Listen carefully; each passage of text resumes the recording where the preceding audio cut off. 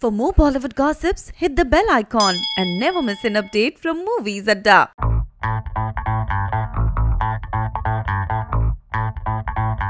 सलमान खान अपने फिटनेस को लेकर काफ़ी सीरियस रहते हैं। मगर जब भी वो किसी रोल को निभाने वाले होते हैं तो वो उस कैरेक्टर के हाव भाव और शारीरिक प्रकृति को हूबहू रिक्रिएट करने में कोई कसर नहीं छोड़ते। फ़िल्म सुल्तान के लिए सलमान खान ने एक बीफ अप लुक प्रेजेंट किया था, जिसके लिए उन्हें काफ़ी मेहनत करनी पड़ी। लेकिन इसके बाद फ़िल्म टाइगर ज़िंदा है के लिए उन्होंने काफ़ी वज़न घटाया और लीन डाइट पर आ गए।